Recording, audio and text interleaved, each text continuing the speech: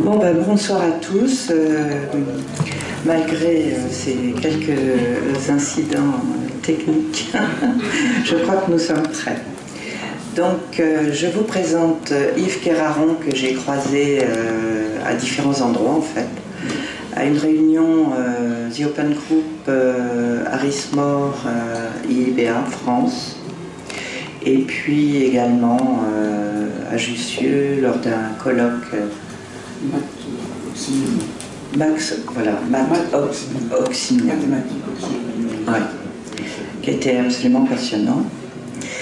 Euh, donc nous avons un peu échangé et donc euh, il a accepté de nous présenter euh,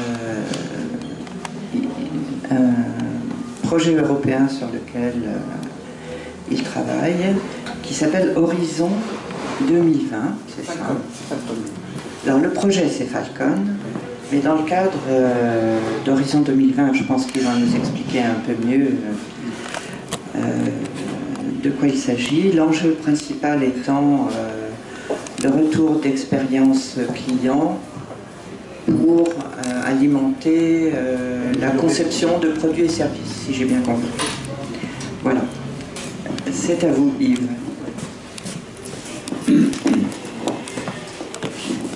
Merci euh, Véronique, euh, merci à tous, euh, merci à, Lélie de, m'avoir invité à, cette présentation du projet Falcon. Falcon, pour toutes, en fait, ça veut dire Feedback Mechanisms Across the Life Cycle for Customer Driven Optimization of Innovative Product Service Design. Je vais expliquer ça plus tard au cours de la, présentation. Donc, oui, alors je m'appelle Yves Terraron je suis de formation ingénieur euh, généraliste. Euh, euh, j'ai passé à peu près 10 ans dans l'ingénierie nucléaire, dans le développement d'équipements mécaniques innovants. Et ensuite, j'ai développé plutôt une activité de gestion, documentation et d'archives. C'est là d'ailleurs aussi que j'aurais pu connaître Marianne Chavin, pour des sites nucléaires et euh, dans ce cadre, euh, je me suis intéressé beaucoup aux standards euh, de production, de documentation technique, dans le cadre, plutôt le secteur manufacturier, aéronautique, spatial, ferroviaire.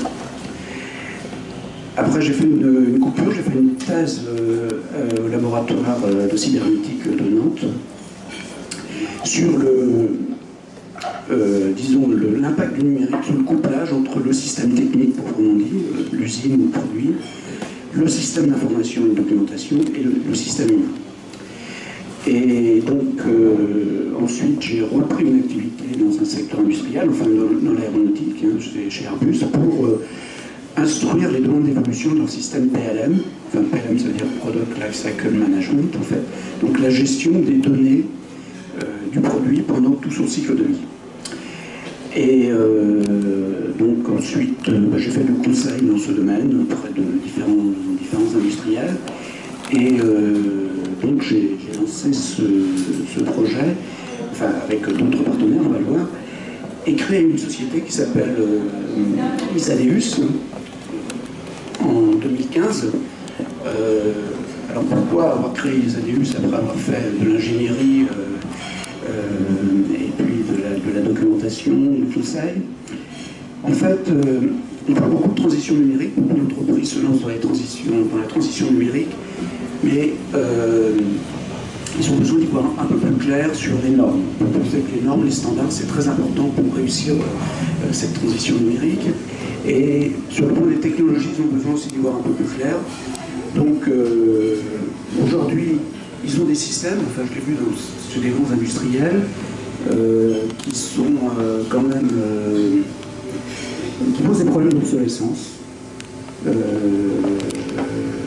donc à chaque fois qu'on change de version de produit, qui pose des problèmes de, migration de données, de perte de qualité au moment de la migration des données. Et en plus, c'est des gens qui travaillent en entreprise étendue, donc ça peut poser des problèmes à terme aussi de gestion de, de l'interopérabilité en fait, sur, sur le long terme. Et aussi, sûr, des problèmes d'archivage numérique. Donc, euh, faisant ce constat, en fait, euh, bah, je propose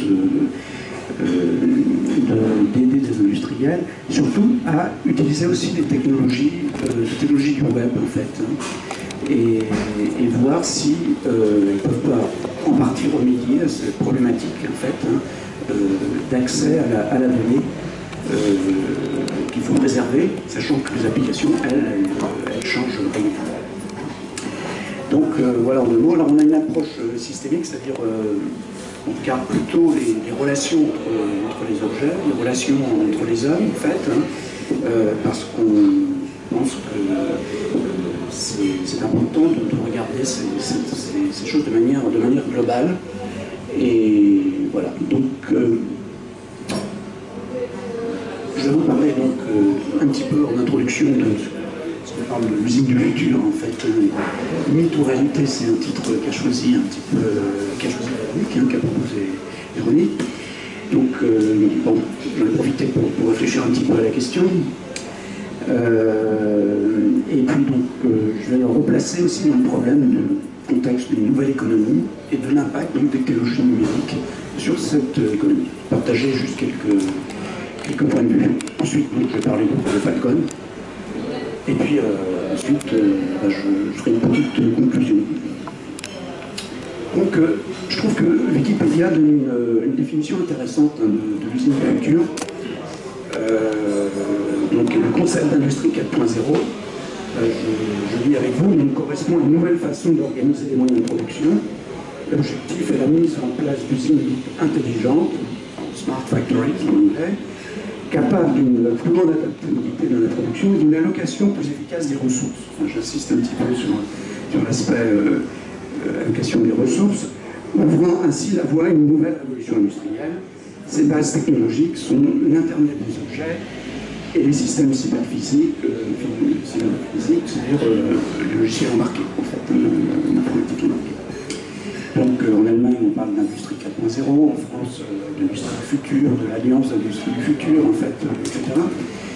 je dirais que mon, point de vue, c'est que dans l'industrie traditionnelle, c'est construite en fait sur des notions d'interchangeabilité, de, standardisation de, composants, de pièces, hein, de, pièces matérielles, physiques, pour la production de masse. Enfin, là, il y a petite photo de l'usine Ford à une certaine époque. Vous vous rappelez que Ford disait que le client pouvait avoir la voiture, la couleur qu'il voulait pour une question de noire, en fait. Hein. Donc il y avait euh, vraiment une, euh, une orientation euh, très produit, pièce, structure matérielle, en fait. Mais encore aujourd'hui, dans des grands constructeurs comme Renault, y a vraiment une voiture pièce, et c'est important pour euh, diminuer le coût global d'une voiture, de bien maîtriser évidemment le, coût de, des pièces. Alors maintenant, il y a aussi toute une infrastructure, l'Internet, le web, et donc on parle de l'Internet des objets, de la définition de Wikipédia, et je pense que là, on est dans un concept plus d'interconnectivité, c'est-à-dire où on, insiste plus sur les relations entre les composants, et pas seulement sur, les composants, euh, pour faire émerger les propriétés d'un système. Et en parallèle, disons, se développe aussi la notion de service, de produit, service, système. Donc voilà un petit peu la, définition en quelque sorte de, l'usine du futur. C'est cette transformation. Alors au passage, qui ne veut pas dire euh, qu'on oublie euh, qu'il faut aussi standardiser les pièces, etc. Mais qui intègre une dimension supérieure du fait de la complexité plus en plus grande des produits quand une automobile est connectée, euh, parle de mécatronique, évidemment, on est obligé d'avoir d'autres outils à sa, disposition. Donc, euh, alors, la nouvelle économie, euh, un petit schéma qui est une petite bulle qui a, disparu En fait, juste à côté là où il y a la petite flèche qui, qui croit, c'est. je vais représenter tous ces c'est bizarre, il y a un petit problème de transformation. Euh, c'est l'économie, au final, qu'est-ce que c'est? C'est euh, augmenter la satisfaction des besoins en utilisant mieux les ressources. Bon, ça, c'est pas nouveau, ça, a toujours été le cas. Et euh, la question, c'est de voir enfin la, technologie en général a toujours joué un rôle là-dedans, et la question c'est de voir l'impact des technologies numériques en fait sur une meilleure satisfaction des besoins en utilisant mieux les ressources. Il y a eu maintenant 30 ans un rapport d'une commission de, l'ONU sur, bah, qui s'appelle Notre ami à Common World en fait, hein, euh, qui euh, développe euh, l'idée d'une évolution d'économie vers une économie de service et de développement durable. Hein. Donc l'industrie du futur doit produire des solutions de produits-services qui satisfont mieux le besoin, mais en même temps plus respectueuses de l'environnement et plus acceptables socialement. Et cette optimisation des ressources sur tout le cycle de vie suppose une collaboration de tous les acteurs, y compris des utilisateurs, hein, et donc une meilleure connaissance des usages des produits pour pouvoir les améliorer. Et donc les technologies qui permettent ça, c'est le PLM, enfin j'ai parlé du Product Lifecycle Management, le web, l'Internet des objets, disons le logiciel embarqué, euh, les puces RFID, les, réseaux, euh, euh, les réseaux, le cloud, etc. Donc voilà le, un peu le cadre. Alors, le projet Falcon, euh, on va voir qu'il y a plusieurs cas d'utilisation industrielle, notamment un sur euh, les appareils électroménagers. Donc euh, la petite photo, enfin la petite, les, deux images en fait sont autour d'une machine à laver en fait, que, tout le monde connaît.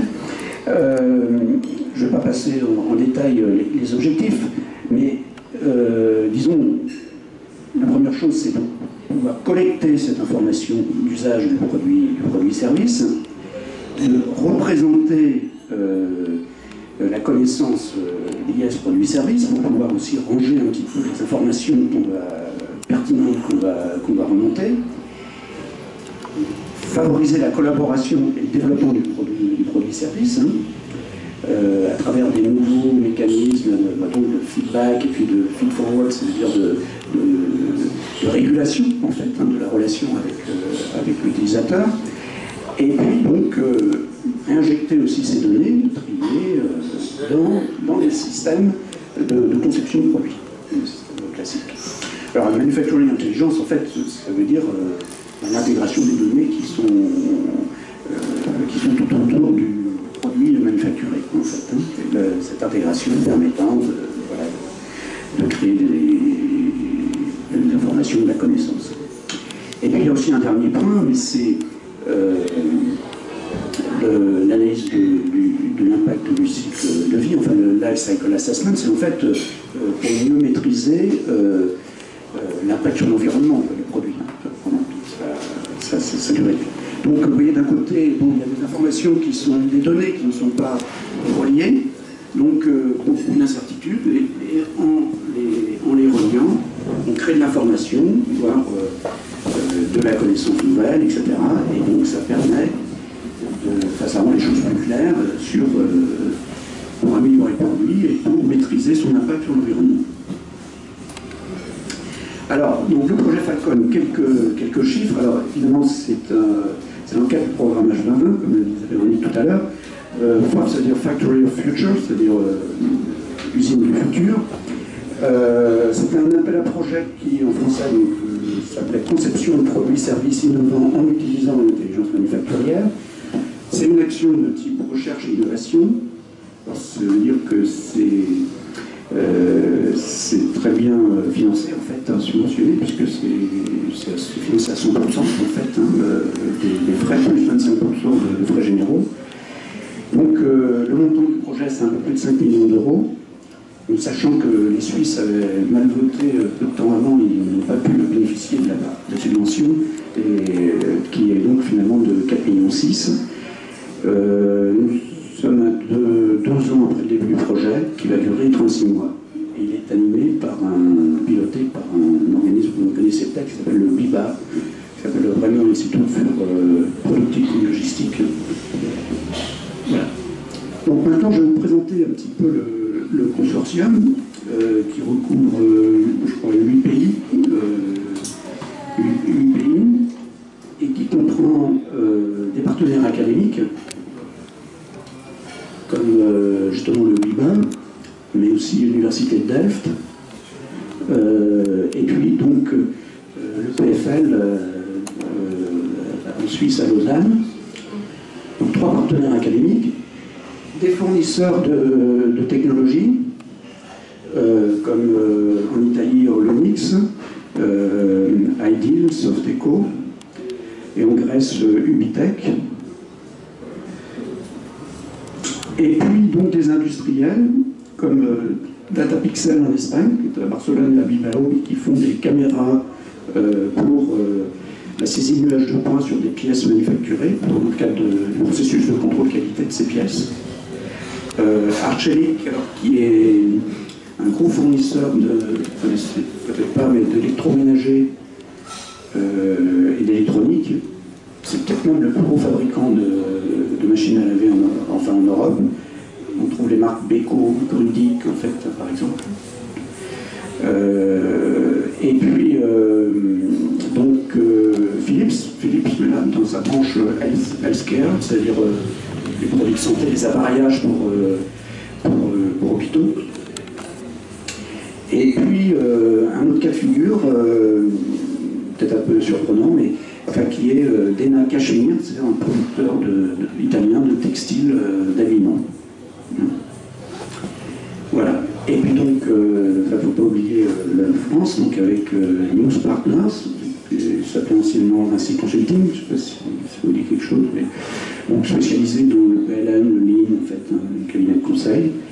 Et donc, et euh, alors, c'est un peu euh, comment je vous ai dit que j'ai fait de la recherche à un certain moment où j'ai côtoyé un certain nombre de chercheurs et c'est euh, un professeur de l'EPFL qui était venu nous chercher pour compléter le consortium sur l'aspect maximisation des produits de la recherche. parce que c'est quelque chose qui compte beaucoup pour la note, la sélection des projets, ça compte pour un tiers. Et donc, euh, nous, on s'est positionné sur la gestion de l'innovation euh, pour maximiser donc, euh, les résultats de la recherche. Alors, l'approche, hein, tout à l'heure je vous ai parlé de, produits, enfin d'usage de produits. Dans un cycle de vie, on, distingue en fait traditionnellement trois, trois grandes phases. Hein, le, beginning of life, le, début de vie du produit, pour tout ce qui est conception, fabrication, transport, on va dire, en fait, hein, logistique. MOL, donc c'est le middle of life, c'est-à-dire toute la partie exploitation maintenance, ça peut être le produit, ça pourrait être aussi une usine, hein, et le end of life. Donc, euh, comme je vous disais, l'idée c'est de collecter des informations qui viennent soit de capteurs embarqués sur le produit, soit euh, des expressions sur, euh, sur, euh, sur les réseaux sociaux, des avis sur, sur, le produit, et de les collecter, de les trier, et puis de les mettre en relation de façon à pouvoir agir éventuellement sur l'évolution du produit, la correction de bugs, enfin des, choses comme ça. Et ensuite de récupérer aussi toutes ces informations pour les réintroduire dans le, dans le système de conception et, produire vraiment de, proposer à la clientèle de nouveaux produits et services. Alors, euh, donc en bas, on, a un petit dessin qui représente les, différentes couches, hein, techniques et, métiers, avec les différentes applications et puis euh, ce fameux cycle de vie avec là aussi le, client au centre en fait. Hein, et euh, donc avec les IOP, c'est l'information d'usage produit. Hein. Donc tri, collaboration pour conception et amélioration de la fabrication, même du produit à distance en fait. Hein. L'utilisation de ces informations de conception et en simulation. On verra un peu comment ça se fait. Et en utilisant des technologies, du web sémantique, du traitement de langage naturel, euh, là aussi euh, l'analyse, euh, sentiment analyse ou l'opinion mining, en fait, des choses comme ça et puis de knowledge-based engineering pour la partie euh, conception.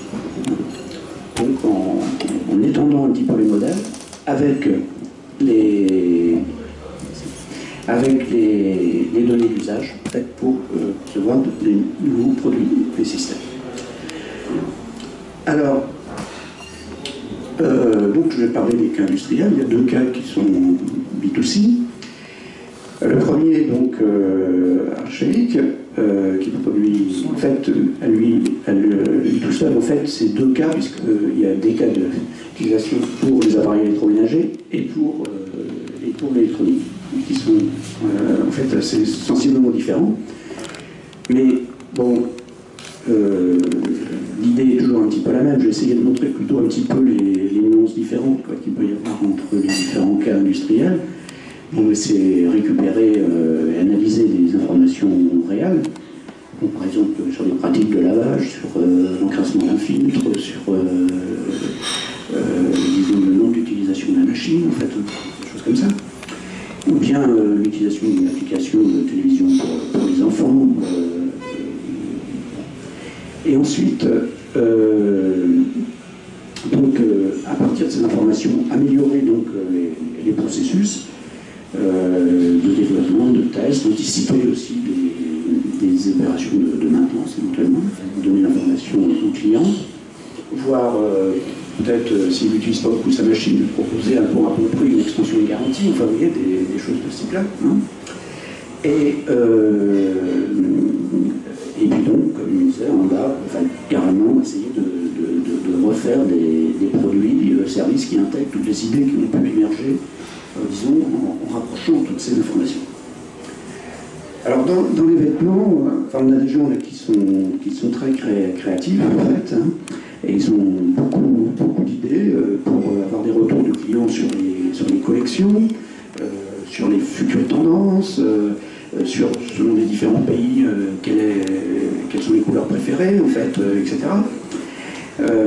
alors il y a aussi la notion d'essayage. Je crois que ça c'est très important, parce que là ils sont dans le cadre aussi de commerce électronique, alors comment on peut essayer un, vêtement par, électronique Bon, ben, ils, vont, là assez loin en fait avec des expériences où on, prend la photo en fait et du potentiel et, on, voit un peu les, grands paramètres de sa morphologie pour, euh, et, de ses, préférences en termes de, style de vêtement pour euh, vraiment lui, proposer le, bon vêtement et qu'il y ait moins de retours, des choses comme ça. Bon, euh, donc c'est visualiser, anticiper, simuler les tendances. ce qui est marrant, c'est qu'ils ont pensé aussi à, une synergie avec le, cas précédent, puisqu'ils veulent mettre des, des QR, des QR codes sur, sur leurs vêtements pour que la machine reconnaisse éventuellement qu'il ne faut pas faire d'essorage ou, euh, ou, euh, bientôt le faire repasser, euh, ne faut pas dépasser telle, telle température. Donc c'est juste des exemples très, très simples, hein, mais pour vous donner l'idée du, potentiel que ça peut avoir. Alors, sur les équipements de santé, là, on est dans le cas B2B, enfin, c'est des hôpitaux qui, sont, qui sont des clients. Et euh, Philips souhaite savoir un peu mieux comment utiliser son produit, voir un peu les, workflows qu'ils ont utilisés, les différentes séquences, pour éventuellement simplifier les choses, en fait, hein, euh, et offrir donc un, nouveau service à, leurs clients. Euh, il y a aussi des problèmes un peu récurrents d'interopérabilité que des images qui sont réutilisées sur d'autres outils, en fait, etc. Donc c'est toujours intéressant pour eux d'avoir un retour, de voir euh, euh, si le problème se reproduit, en fait, etc. Et, ou s'il y a des solutions, et, donc euh, d'améliorer là aussi l'utilisation du produit. Data Pixel, dans, la mesure d'une prise d'une image vidéo 3D, en fait, ce, que Data Pixel vend, c'est une caméra, un logiciel, en fait, et un appareillage qui, suit enfin, pour, faire la prise de vue de la pièce. il y a des opérations de calibration qui sont, très importantes, euh, qui doivent être euh, faites par le DataPixel, certaines par le client. donc euh, les systèmes aussi comment dire, sont sensibles aux conditions d'environnement, notamment à la température. Donc là, il y a même le cas de figure où, on rapproche des données bah, sur l'utilisation de, la caméra avec des données qui sont publiques, par exemple, hein, euh, de, l'open data, euh, pour euh, éventuellement bah, faire des, comment dire, faire des relations entre une dérive en fait, de la calibration et puis pour anticiper éventuellement avant que le, avant que le client appelle, en fait, on sait déjà éventuellement pourquoi, pourquoi il y a un problème. Donc, et puis c'est augmenter la compétitivité de leur solution et toujours en améliorant la facilité d'utilisation. Alors, euh, je, reviendrai tout à l'heure sur la plateforme Falcon elle-même, comment, comment elle est composée. Mais donc on a une plateforme qui est extensible, modulable, enfin bon, euh, basée sur du logiciel libre.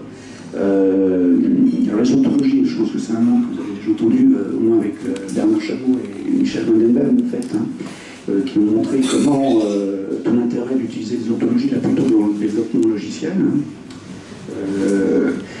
Bon, là, euh, les ontologies sont utilisées, comme je disais plutôt, pour euh, classer les données qui remontent, en fait, hein, pour les mettre dans des tribal stores aussi. Et euh, donc, il y a, deux, niveaux, enfin moins, enfin, une ontologie générique du produit service système, commune à, tous les cas, industriels, et des ontologies plus spécifiques par, par cas industriel. Donc euh, ensuite, euh, une chose très importante, euh, pour bien comprendre finalement, alors ces, ontologies, elles ont déjà été faites avec une méthodologie qui s'appelle User Story Mapping, un peu similaire à la méthode agile en fait, pour capter les, concepts hein, du, client et, les ranger après de manière logique en fait. Hein. Alors, ensuite, les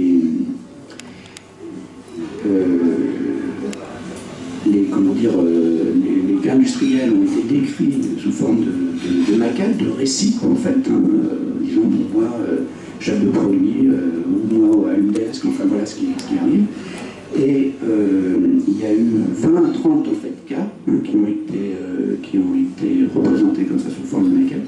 Voilà, justement, on voit au premier plan l'exemple, on voit, on s'intéresse peut-être à ce qui se passe au URSS, et puis on voit peut-être pas très bien, mais sur le, il y a des, mesures de certains paramètres pour s'assurer que, le produit va, bien fitter en fait. Hein,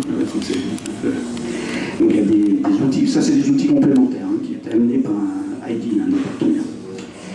Et puis donc il y, a des, il y a des prototypes de logiciels, de modules fonctionnels qui, déjà, euh, qui sont déjà en place.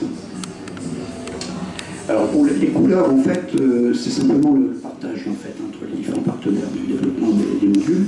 Mais on voit qu'en bas, donc, il y, a, tout un, ce qu'on appelle les, wrappers de, pays, Product Usage Information, en fait, hein, euh, bah, qui vont récupérer des, données, euh, soit de systèmes embarqués, de, capteurs, de, réseaux sociaux, de tableaux Excel, de de logbook, en fait, euh, etc. Et euh, dans le Triple Store, avec, euh, en tenant compte, bien sûr, grâce à, l'ontologie.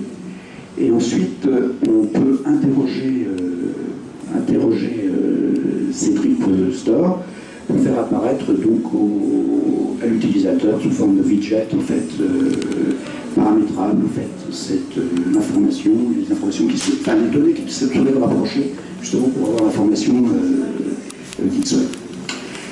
Et par ailleurs, cette, toutes ces informations qui sont dans la, on appelle la, VOP, enfin c'est la Virtual Open Platform, peuvent alimenter aussi toutes les applications et on peut aussi utiliser des logiciels tiers, enfin un peu spécialisés, qui vont utiliser cette information.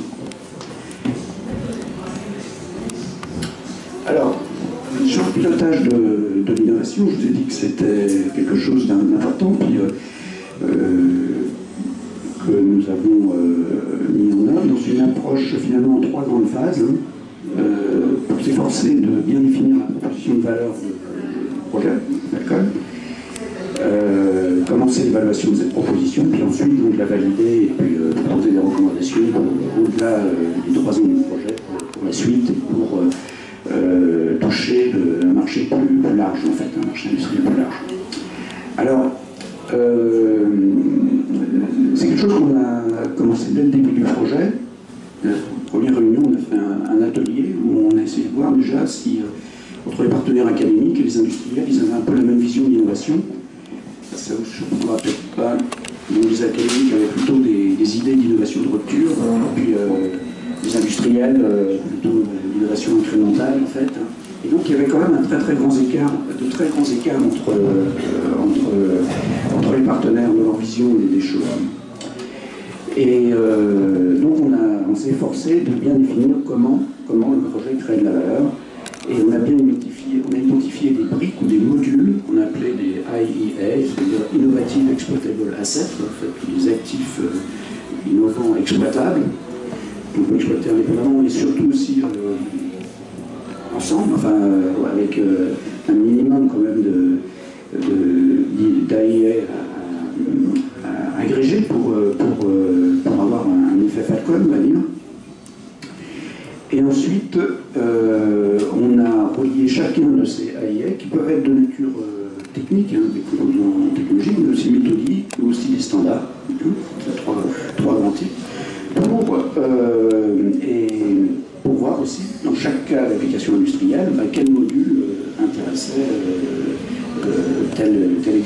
benefit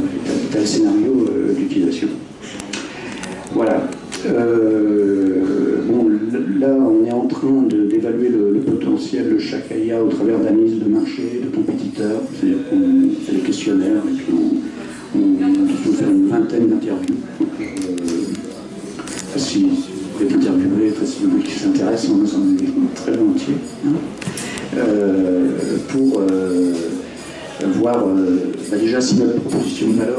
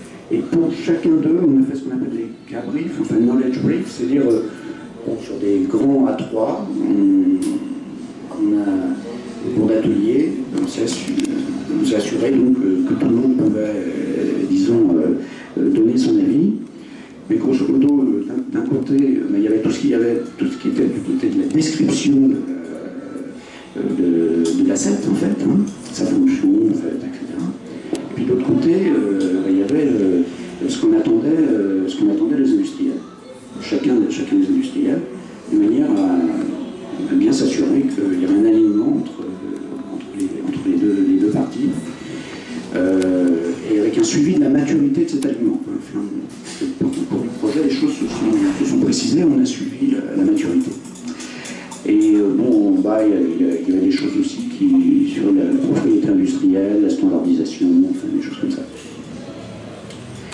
Tout ça, ça nous a permis de faire un, justement le plan d'exploitation attendu par euh, les communautés comme livrable, euh, que l'on met à jour en fait, tous les ans. Donc, justement, la proportion de valeur ne surprendra pas un peu par rapport aux objectifs du projet. Et euh, donc euh, Falcon est une plateforme d'innovation euh, collaborative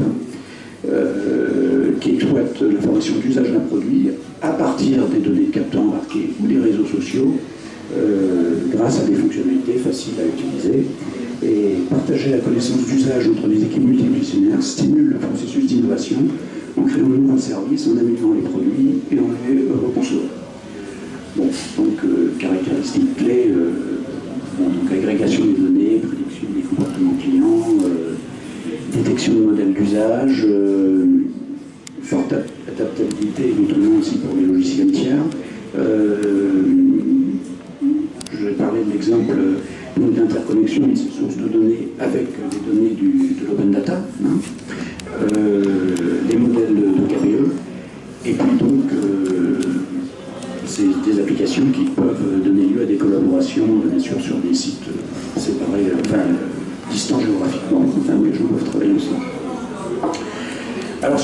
standardisation, euh,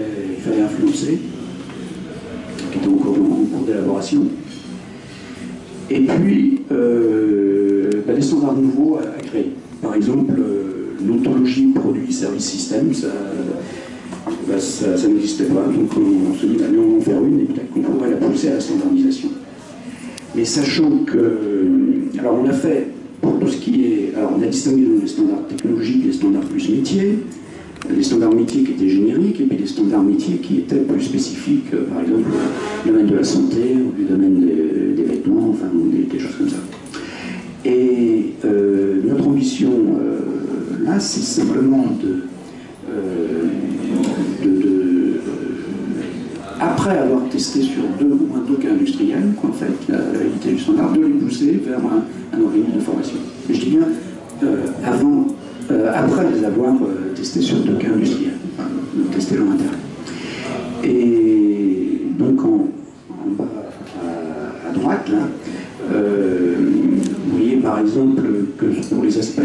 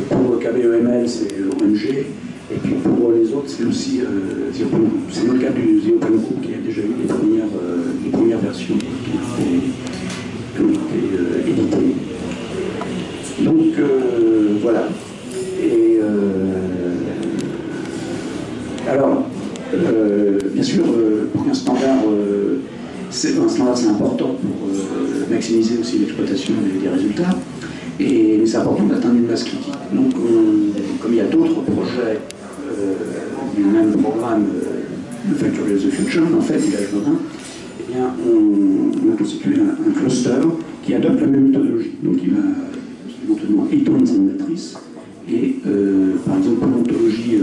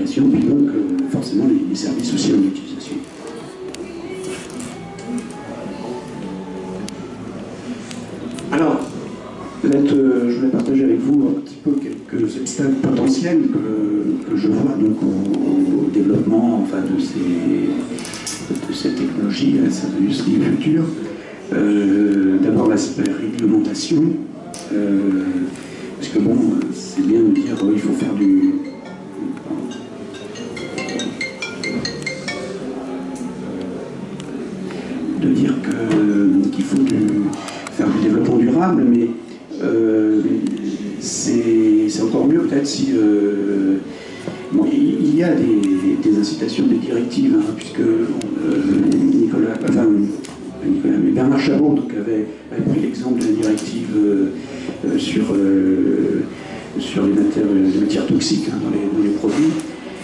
Bon, tout ça, oui, effectivement, mais je pense qu'il faut de réglementation encore pour inciter en fait, euh, les, industriels à faire des produits, disons, qui protègent plus l'environnement. Et il y a aussi toute la question de la, propriété des données, de leur confidentialité. Bon, je ne sais pas si vous avez vu, mais il y avait dans un coin, il y avait quand même un petit module sur l'authentification des utilisateurs de la plateforme. Mais bon, je crois qu'il faut aller sans doute un peu plus loin sur euh, la question de l'anonymisation des données, de qu'est-ce qu'on en fait, pendant combien de temps les garde, enfin des choses comme ça. Je pense qu'il y, a beaucoup de, il y aura beaucoup de sujets à traiter. Alors les standards, euh, les standards, euh, bon, à la fois, c'est un manque de standards, en même temps, il faut qu'il y ait déjà de standards. Il y a, même dans les domaines nouveaux, il y a plein d'initiatives qui peuvent être différentes. Donc, euh, euh, c'est pas forcément euh, très simple de, trouver la bonne stratégie en fait, hein, de, standardisation. En plus, c'est pas un sujet euh, qui est toujours très, très vendeur en fait hein, pour, pour, les gens. Voilà, donc ensuite, oui, la. Le, lequel? Le dessin humoristique à gauche. À gauche, oui. Alors, c'est sur, sur la résistance au changement, ou la, difficulté à mettre en œuvre le changement. Euh, voilà, euh, c'est quelqu'un qui a, innové en faisant des, des ronds et puis euh, voilà, je, vous comprenez vous-même. et, c'est souvent un argument de dire qu'on peut introduire une méthode, ben, des choses nouvelles, de dire oui on n'a pas de temps, et puis pas le planning, en fait, etc voyez pas que je suis occupé, en fait. voilà. C'est une connerie. Et. Oui, nous sommes trop occupés. Donc, euh, euh, effectivement, c'est très important cette conduite du changement. Et d'ailleurs, pour, pour, les spécialistes, le, gros problème, c'est finalement la, euh, changement de relation entre, les gens, entre les acteurs, qui, qui est plus difficile à, traiter. Euh, et puis enfin, bon, les modèles économiques euh, et financiers, bon, là, je ne sais pas si vous connaissez, mais justement, c'est pour euh, Pignard et Osterwalder qui, qui ont popularisé les idées Christensen sur la gestion de l'innovation, enfin, justement en mettant proposition de valeur, en fait, etc. mais bon, je pense qu'il faut, voir aussi que ça, ça, effectivement euh, l'endroit où est créée la valeur ajoutée. Euh, finalement, le client, on voit, euh, bah, quelque part, il, participe aussi au. c'est plus un simple consommateur. Hein. alors, il peut être récompensé par une, extension de garantie à bas prix, mais bon, je sais pas, après, il y a, d'autres questions qui peuvent se, poser. Et, aussi, avec tous les, autres acteurs de, la chaîne, il peut y avoir une modification profonde en fait hein, euh, des enjeux économiques. Alors, euh, je voulais aussi, euh, je vous ai parlé de c'est un sujet assez complexe. Souvent, c'est difficile dans le monde industriel. Je, travaille sur, sur une autre ontologie qui s'appelle l'ISO 15226 au sein de, l'ISO sur l'intégration des données de l'usine. Et ça quand même il travaille depuis 10 à 20 ans en fait, hein, sur ce, sur ce sujet-là. Euh, ils ont fait aussi, une, enfin, l'ISO 15226 comprend aussi un modèle conceptuel euh, en 200 entités, c'est trop trop complexe par rapport au, cas d'usage réel. Et donc ça freine beaucoup l'adoption. Euh, donc,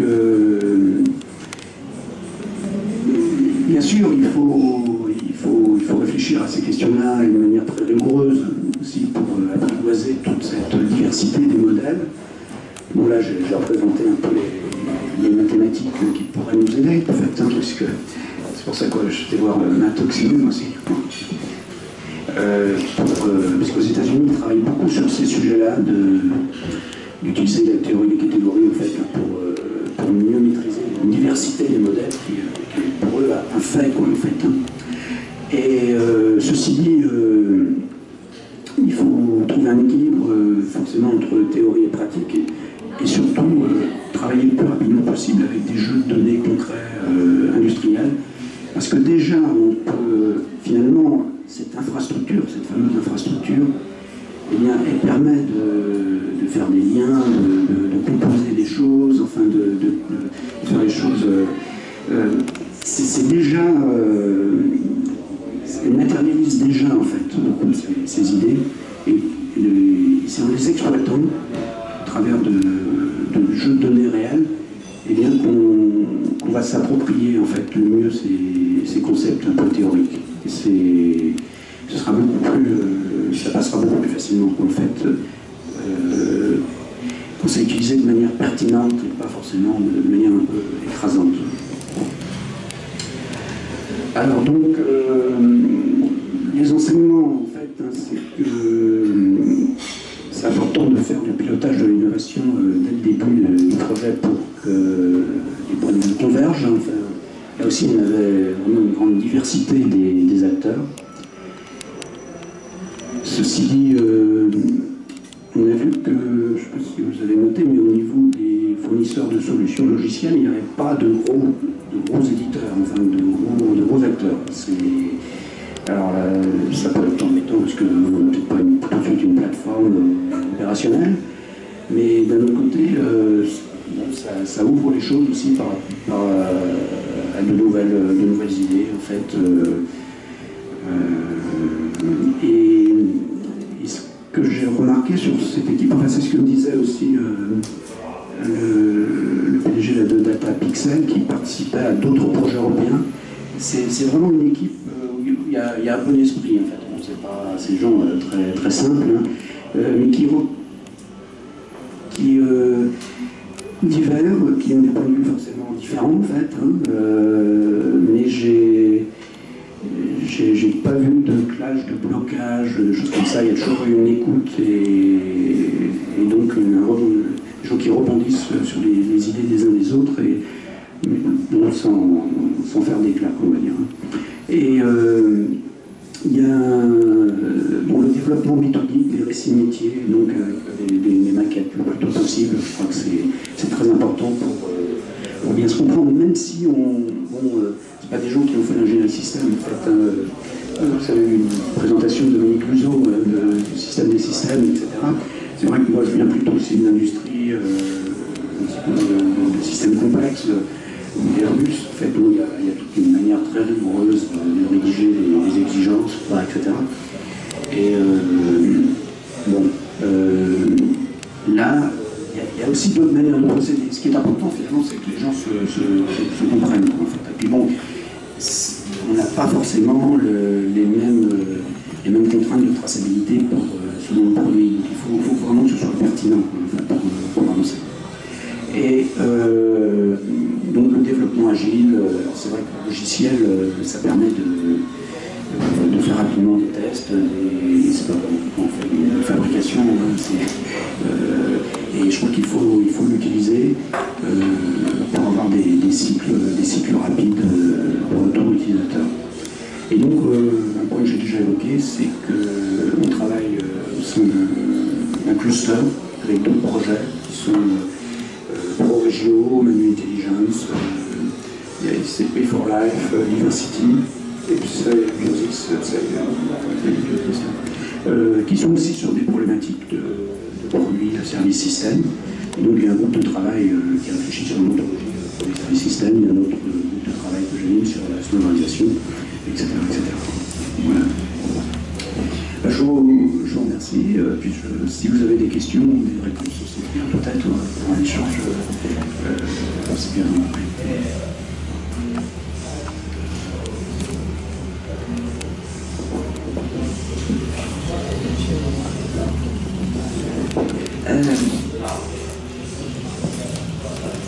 Je, ne suis pas sûre d'avoir euh, complètement tout compris, mais vous en êtes euh, où exactement du projet en fait? Vous avez euh, terminé ou c'est en cours de finalisation, d'après ce que je comprends?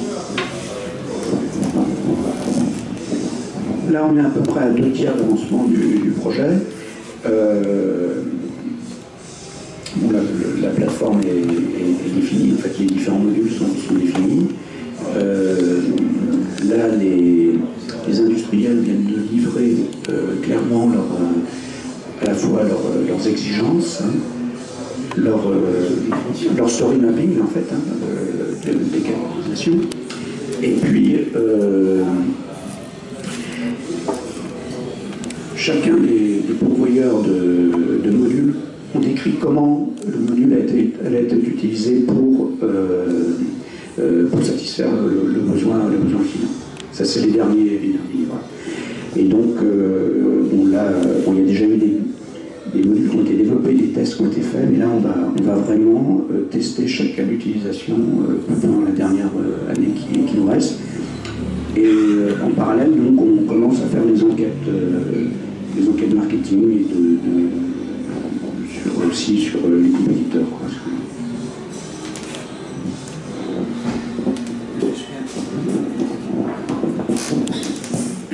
Est-ce que d'une certaine façon on peut parler d'apprentissage Est-ce que la plateforme finalement apprend de l'expérience des clients? Euh, la, c'est un peu difficile.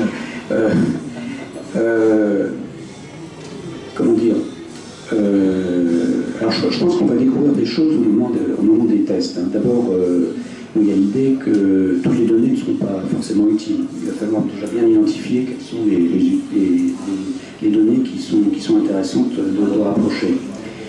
Alors, j'aurais peut-être une, définition un petit peu simple de l'information, enfin qui correspond quand même à, l'idée théorique, hein. euh, c'est que ça diminue euh, l'incertitude en fait. Hein. Donc de rapprocher des données euh, par rapport à quelqu'un qui essaie de résoudre un problème ou de se demander ce qui, arrive au client en fait, etc.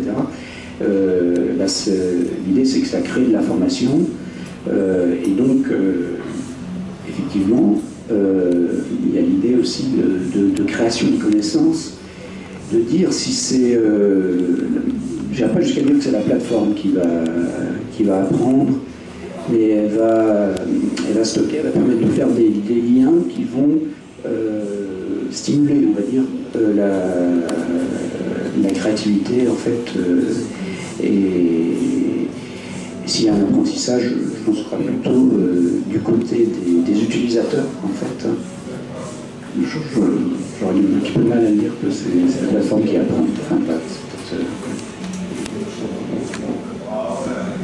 c'est une aide à l'apprentissage.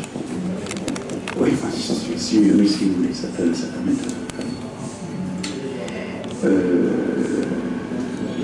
non, euh, je crois que euh, l'idée forte en fait qu'il y a derrière, c'est que bah, le client, l'utilisateur n'est pas quelqu'un de passif en fait. Et, euh, c'est pas nouveau. Euh, je ne sais pas si vous connaissez Michel de Certeau avait fait beaucoup d'ouvrages là-dessus, sur cette question-là. Et, peut-être que la société industrielle, enfin, avec son développement, a, un peu négligé en fait, cet aspect-là. Et, je crois que là, du fait qu'on dispose d'une technologie, moyen technologique pour remonter quand même des indices au moins, je ne sais pas si on saura tout sur ce que font, s'il faut tout savoir sur ce que font les utilisateurs, euh, on serait peut-être surpris en fait de leur mais euh, euh, ça, au moins pour voilà, conseiller l'utilisateur sur, sur, la manière d'utiliser sa, machine à laver ou autre chose. Enfin, alors le cas de DataPixel est intéressant aussi parce qu'on voit de plus en plus que le, à ce moment-là, le, fournisseur de service euh, son processus va, s'intégrer aussi avec le processus client, en fait. Euh, donc, et donc, ça va changer aussi la nature de la relation qu'ils vont, avoir.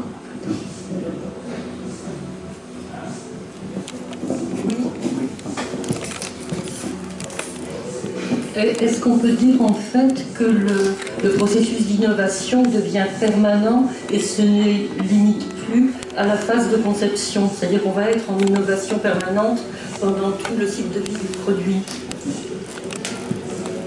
euh, Oui, tout, à fait. En fait, euh, en tout cas, euh, l'innovation qui viendrait de, des usages, en fait. Hein. Qui peuvent venir d'autres, d'autres peut-être plus radicales aussi, hein, qui, peuvent venir d'autres, d'autres directions. Mais c'est au moins euh, déjà exploiter aussi ce, potentiel qui était peut-être un petit peu inexploité, en fait, hein, qui était sans doute tout à fait exploité. Et effectivement, là, on voit bien qu'on est dans un processus, euh, euh, il y a plusieurs, plusieurs feedbacks, en fait, hein, sur le produit, les retours sur le produit qui est déjà utilisé, et si on prend du logiciel, ben, on, va, le, modifier de, manière permanente hein, pour s'ajuster par rapport aux, buzz, aux besoins clients, à la manière de se comporter du client, en fait. Hein. Donc il y a toujours un ajustement du, produit.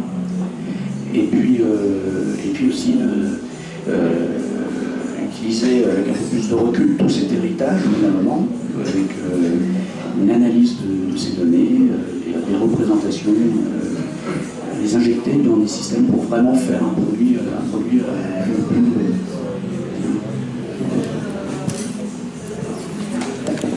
Est-ce que les industriels, dans nos rapproche, puisque le service va, prendre, va prendre un, va avoir un essor absolument océan, je raconte ça depuis un certain temps, euh, est-ce que le modèle, parce que, ok, va fabriquer les meilleures machines à laver, euh, et ainsi de suite, mais ça, c'est pas la vraie finalité. La vraie finalité est certainement qu'on va pouvoir avoir une composition de services beaucoup plus efficace et beaucoup plus réactive, et ce qui va amener les clients dans des modèles économiques. Parce que là, le modèle économique dont vous parliez, c'est celui du manufacturier ou c'est celui qui est vu du client? Parce que vu du client, dans cette, dans cette démarche-là, on va aller vers des notions d'abonnement, on va aller vers des notions de, qualité de service, au sens je paye que, que si vous atteignez un niveau de lavage qui correspond à ça. C'est bien ça le Oui, euh, c'est ça, euh, un produit-service, c'est une composition de, produits et de services. Par exemple, euh, le, service, de mobilité en, ville, c'est une voiture à l'achat, elle s'appelle euh, Autolib, en fait, hein, et, qui comprend des aspects physiques, hein, des, voitures, des bornes, etc. Et puis aussi toute une infrastructure qui, qui offre aux clients un service de mobilité. Mais il n'achète pas une voiture, effectivement. Euh, et on peut penser qu'effectivement, à une économie au sens d'une meilleure utilisation d'une ressource.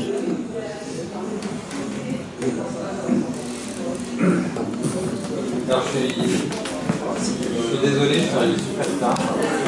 Donc, je pas eu le début de la présentation.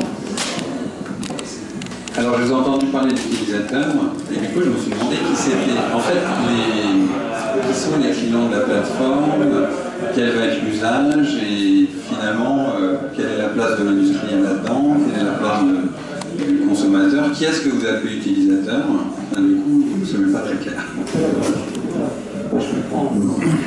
Euh, alors, les, clients, les utilisateurs de la plateforme sont les industriels. D'accord?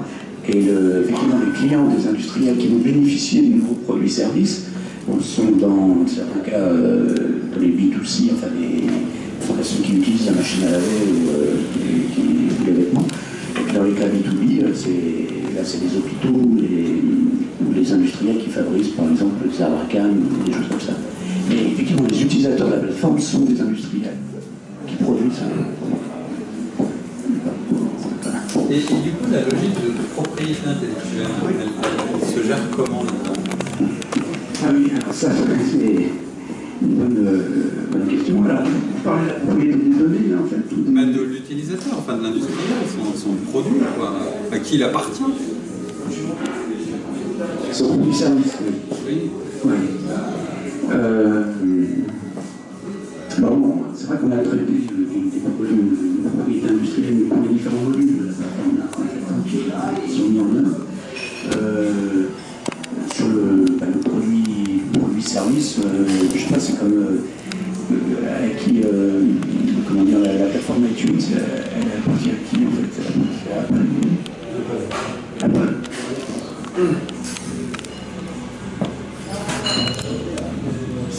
c'est typiquement un, un, service en fait, à travers une plateforme qui appartient à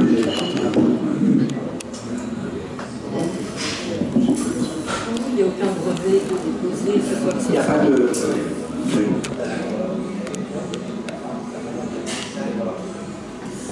Bah, disons que oui, euh, oui, oui. Euh, bah, je ne sais pas sûr n'y a pas des brevets comme Je ne sais pas. Oui. Mais je pense que le, le, succès de la plateforme vient plutôt euh, d'un business model très, très étudié, où il y a des synergies entre plein de choses en fait. Euh, euh, voilà, en tout cas, ça paraît assez successful, on va dire. Comme, comme avec l'économie, en tout cas. Comme beaucoup avec l'économie.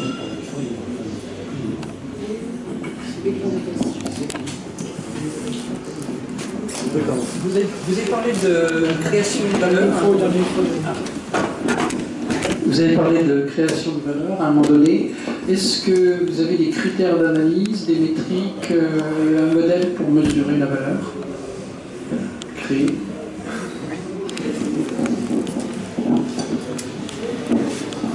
euh, non. À vrai dire, on, on s'est déjà.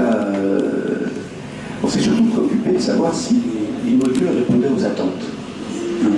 Voilà. Euh, après, euh, bon, bien sûr, on a, euh, on a quelques, quelques idées sur les chiffres de, de citer pour les parts de marché supplémentaires ou des choses comme ça. Mais je ne dirais pas qu'aujourd'hui, on a un modèle concret, modèle de fournisseur de couteau. Mais, mais est-ce qu'il y a des produits qu'on utilise tous les jours qui ont déjà bénéficié de la plateforme? Ah, Les machines à laver. Oui, là, il y a deux, industriels ici, c'est enfin, l'électroménager et l'électronique, la télévision, des choses comme ça, par, un mec qui s'appelle Argélique. Et euh, il y a l'expérience aussi de la vente en ligne de, de, cachemire, en fait, pour être en italien, en fait, mais euh, qui enrichirait beaucoup, en fait, cette vente, y compris en améliorant euh, l'expérience de l'utilisateur euh, sur le. ils prennent. ils choisissent un, vêtement qui correspond vraiment à sa morphologie, etc. Rapprochant euh, disons, l'analyse d'une photo avec, ses préférences, enfin, etc. S'il veut quelque chose de serré ou pas, etc.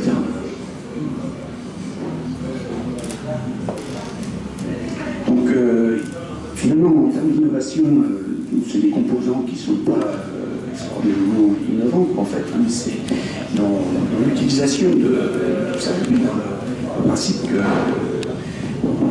voilà, il y a quelque chose de, de nouveau qui, qui apparaît.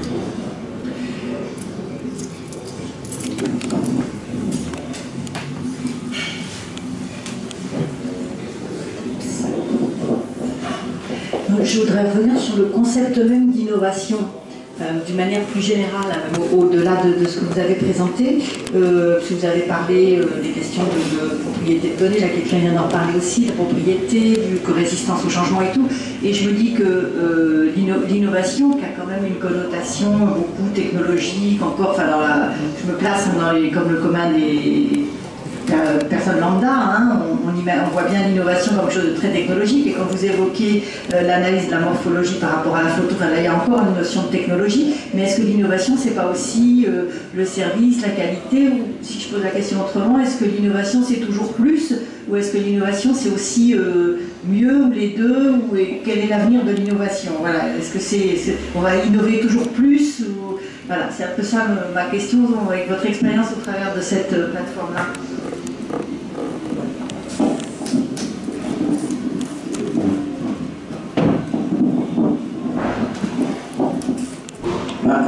apparemment, euh, là, c'est surtout euh, offrir un meilleur service. Hein. Donc, je reprends la définition générale, en utilisant mieux les, ressources. Euh, après, ça, ça pourra se, mesurer, je pense. mais après, ce que c'est que l'innovation, comment dire, si on parle beaucoup d'utilisation par Uber, par exemple, d'informations pour euh, un service euh, concurrent à celui de, taxi. Est-ce que c'est l'innovation euh, c'est pas l'innovation je sais franchement, ce qui m'importe plus, en fait, finalement, c'est savoir un petit peu si cette technologie va, contribuer à, un meilleur, meilleur être, en fait. Hein.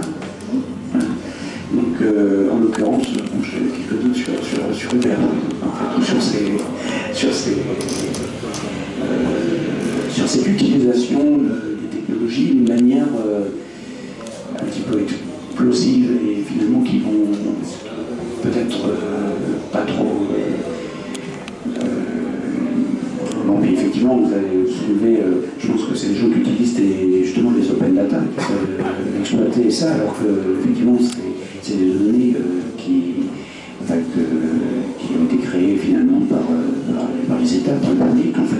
Donc c'est vrai que ça, euh, ça peut choquer un peu si c'est utilisé pour des raisons uniquement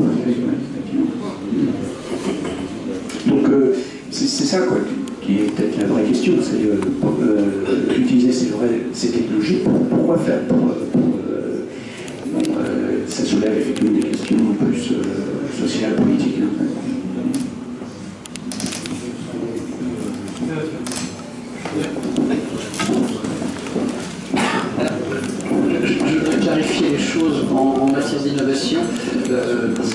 Il se trouve qu'actuellement, on, vit dans un tournant où on a une évolution technologique euh, fabuleuse qui permet euh, de, créer de nouveaux produits. Donc, euh, on a aussi une innovation en termes uniquement de services, c'est-à-dire indépendamment de l'évolution technologique. Et on a d'autre part une innovation croisée, c'est-à-dire de nouvelles technologies permettent de créer de nouveaux services. Un, exemple très simple d'innovation actuelle, qui est une innovation dans le business model et la création de nouveaux services, euh, euh, c'est la location de, pneus. C'est-à-dire que euh, le indépendamment de son évolution technologique, il se trouve qu'actuellement, on a revu les business models, justement en analysant les besoins des consommateurs et en se disant c'est peut-être intéressant de louer un pneu et de ne plus l'acheter. Ça, c'est une innovation uniquement dans les services. J'ai une innovation complètement technologique, c'est le pneu euh, boule. C'est-à-dire, on, vient d'inventer un pneu qui est une boule, une sphère. Euh, donc, euh, il, permet à une. donc, vous avez quatre boules au lieu d'avoir des pneus normaux. donc, le pneu est maintenu uniquement par champ magnétique. Donc ce qui donne une voiture, c'est la voiture des prochaines décennies, une voiture totalement innovante puisqu'elle va pouvoir euh, se garer dans n'importe quel sens et tourner dans n'importe quel sens. Et euh, un exemple d'innovation technologique tout à fait simple, euh, qui est la miniaturisation et des composants beaucoup plus légers en carbone pour créer des drones, des, petits drones, et, une innovation tout simplement petite technologie, c'est-à-dire un petit drone à 500 euros, eh bien maintenant on l'utilise régulièrement pour faire du scan de, de, colis dans des, entrepôts où les, produits ou les caisses sont stockées à 10 mètres de hauteur dans un, dans un immense hangar. Donc là, j'ai carrément, euh, c'est pas une grosse innovation, mais j'ai un croisement d'une petite innovation technologique avec un nouveau service. Et, c'est en fin de compte actuellement euh, ces trois types d'innovations euh, qui éclatent totalement à la fois dans les services, tout simplement parce qu'on s'est aperçu dans les pays développés, euh, la différence entre les pays sous-développés et les pays développés. Les pays euh, sous-développés sont axés sur, économiquement sur la production de produits, donc euh, manufacture, etc. Et les produits développés sont axés sur la production de services.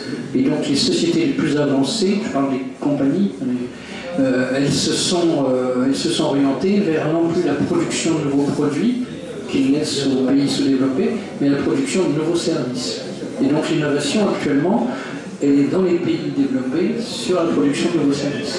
Et je pense que les pays sous-développés vont, aussi euh, prendre le tour. C'est pour ça qu'on a ces trois axes d'innovation. Oui. Oui, merci. C'est vrai que par rapport à. Bon, là, c'est mieux connaître l'usage d'un produit. Hein. Donc, c'est des, services, des services qui sont autour d'un produit. Hein, euh, dans, dans, ce cas-ci, quoi. C'est pas. Euh, euh, pardon? Il n'y a pas de service. Oui, enfin, disons que c'est vrai que quand on regarde aussi l'économie nouvelle, service utilization, comme ils disent en anglais, il y a aussi la notion, souvent on associe ça à l'économie post-industrielle. L'économie de la fonctionnalité. Économie, oui. Mais non, plus loin, post-industrielle. Parce que dans, la fonctionnalité, quand on a une fonction de transport, ah euh, quand, Alstom prend, enfin je sais pas, au Chili, une fonction de transport voyageur, en fait, euh, etc. Donc là, effectivement, on vend la fonctionnalité, en fait. Hein. Mais, il y a quand même un produit industriel euh, derrière. Et, moi, j'ai du mal un petit peu à imaginer la disparition de l'industrie, en fait, quand même. Euh, Donc euh, mais peut-être que. C'est pour ça que le mot post-industriel me, gêne un peu, en fait. c'est une industrie qui se transforme, qui s'enrichit, c'est-à-dire que c'est pas euh, l'interchangeabilité ou l'interconnectivité, c'est un dépassement en fait de l'interchangeabilité pour, faire quelque chose d'un peu plus, euh, euh, oui, comment dire, plus, puisque si on fait intervenir l'humain en fait ces usages, on, donne des dimensions de complexité qu'on n'avait pas en, faisant un polymasse.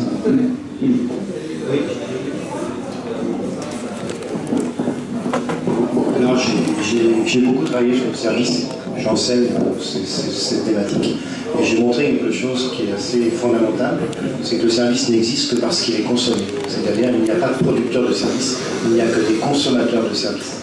Et ça, c'est quelque chose d'important. Il y a toujours un produit derrière. Le produit, alors ça, c'est les effets de marque. Je fais de la, je prends une voiture pour me déplacer, soit je prends une voiture au sens de sa marque et j'achète une marque et ça les marketeurs connaissent bien. Et ça c'est fondamental, c'est-à-dire qu'un service est vraiment n'existe qu'à ce moment-là. D'ailleurs, ce qui pose des grandes problématiques de qualité de service, puisqu'il faut être là quand personne consomme.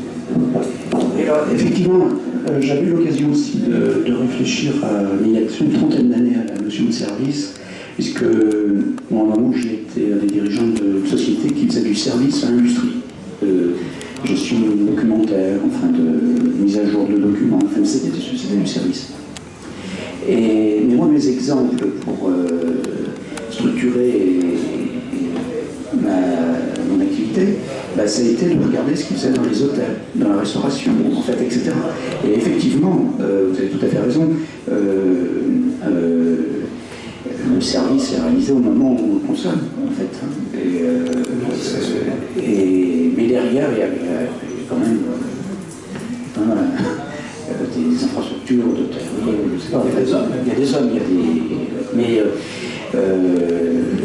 il y, a, il, simultanéité la réalisation du service au moment où on consomme. Moi j'ai monté, un, groupe de recherche de Saint-Étienne pour amplifier. Monté un groupe de recherche qui s'appelait COPAS à l'école de de Saint-Étienne. On a beaucoup travaillé, puisque moi j'ai commencé à travailler sur le service en 98. J'ai proposé une définition du, service à des sources, qui nous intéresse. Et euh, il y a un mec qui est venu, qui était un mec de Michelin. Et je me dit, bah, tiens, il y a quelque chose que je comprends pas bien. Quoi. Et puis, euh, Michelin faisait des pneus. Quoi. Il m'a répondu, oui, mais maintenant ils vendent 200 000 km. Je pense que ça a été la plus belle définition du service qu'on a vu. C'est-à-dire cette transformation du produit en quelque chose qui sert. Mais je pense qu'après ça, il y a plein de. il y a des ouvertures dans ce que vous dites qui sont extraordinaires. Parce qu'il y a l'aspect sociétal, il y a l'aspect social, il y a l'aspect euh, génération, il y a qui va perturber. là, on n'est que dans ce collègue vu par l'industriel, mais je pense qu'on peut le transformer en, des belles fleurs.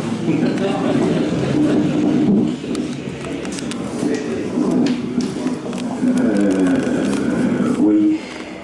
Alors je crois que je crois que c'était toujours le fameux Ford qui disait que s'il demandait à son client euh, un meilleur produit, il aurait demandé un cheval qui va plus vite, en fait, hein, quelque chose comme ça. il avait, euh, effectivement, euh, je m'interrogeais là, de l'exemple des, pneus sphériques, en fait. Hein, c'est pas forcément évident que le client lui ait une mais peut-être qu'en analysant son comportement, en un certain nombre de choses, eh bien, peut émerger cette idée, justement. Donc, d'avoir des informations, euh, enfin, de rapprocher des données, ça peut créer des. stimuler cette innovation, c'est l'idée. Hein. Et là, il y a. Bon, comme vous dites, hein, il, y a, un potentiel, il faut, plutôt euh, se, concentrer sur des cas très précis, euh, sans doute démontrer, mais il y, a, un gisement très très important d'utiliser ces technos Internet qui sont simples, euh, quand même euh, robustes, euh, extensibles, évolutives, enfin avec mécanismes. Même, je vois des, cas, vous savez, je, m'intéresse quand même beaucoup aux documents de technique d'usine, en fait, hein, d'ingénierie dans des, schémas fonctionnels, maintenant les 3D, des tableaux de données, en fait, etc. chacun dans des applications un peu de mal à communiquer, ou bien euh, vous avez un intégrateur, enfin, ou un éditeur qui vous propose l'ensemble, en fait, etc. Bon, on voit bien que si ces données étaient exposées, mais enfin exposées euh, de manière contrôlée, euh, on pourrait quand même très facilement faire, faire, des liens et, des interfaces utilisateurs qui, valorisent de manière durable ces, ces données. Juste en utilisant euh, les principes et standards, les standards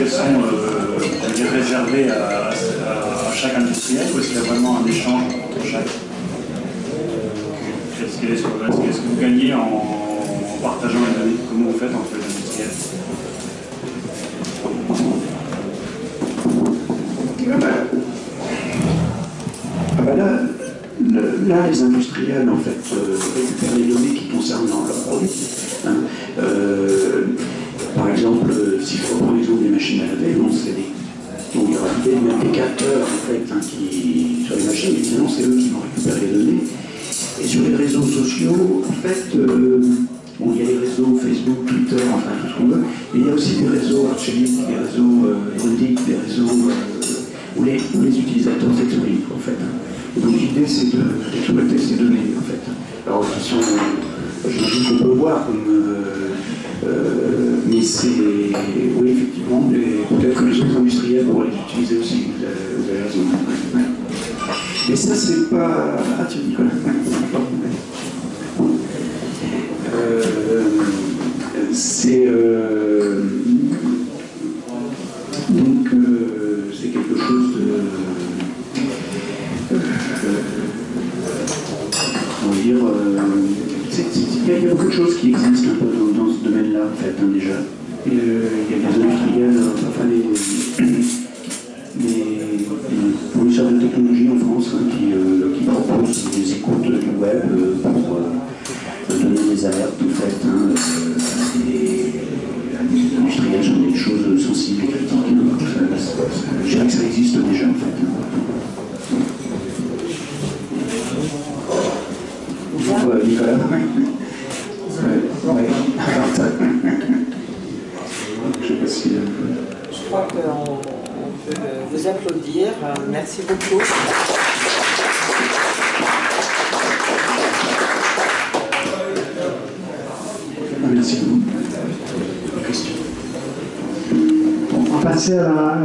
qui est une rencontre informelle autour d'un verre et autour de, petites choses à grignoter. Voilà. Donc on peut parler, euh, on peut discuter avec le, conférencier et, entre nous. Voilà euh, un échange informel après l'échange formel qui vient, qui vient d'avoir. Merci.